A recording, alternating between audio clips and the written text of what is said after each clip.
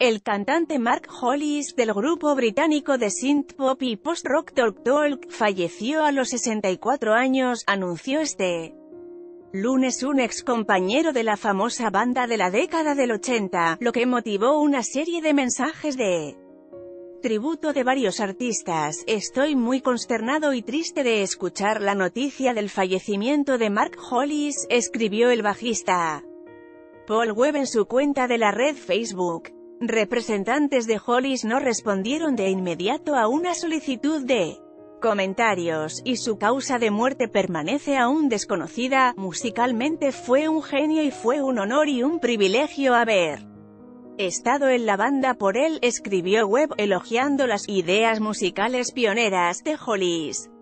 El grupo se formó en Londres en 1981, llegando a la fama en la década de 1980 en toda Europa principalmente por los éxitos masivos.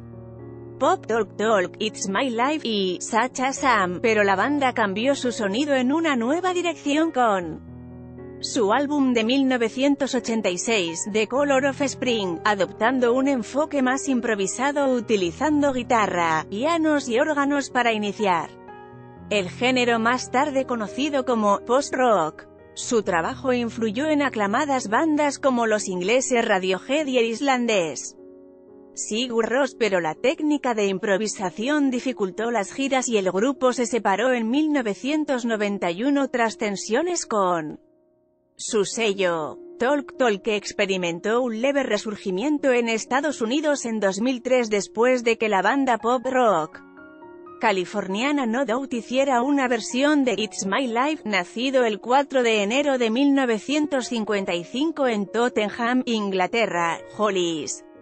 Lanzó un álbum solista homónimo en 1998, pero luego casi desapareció del ojo del público. Rip Mark Hollis, escribió Anthony Costello. quien se identificó en las redes sociales como su primo. Maravilloso esposo y padre, hombre fascinante y de principios.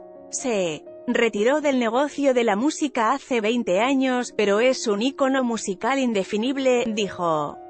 La banda británica de post-punk Dead expresó en su cuenta de Twitter que Hollis estaba detrás de algunos de los mejores álbumes de los años 80 y principios de los 90, también le rindieron tributo los Doves, líderes de chats musicales en Reino Unido. Con un tuit, adiós, Mark Hollis, te debemos mucho, no puedo exagerar sobre la influencia que tuviste sobre nosotros tres. Como músicos y como banda.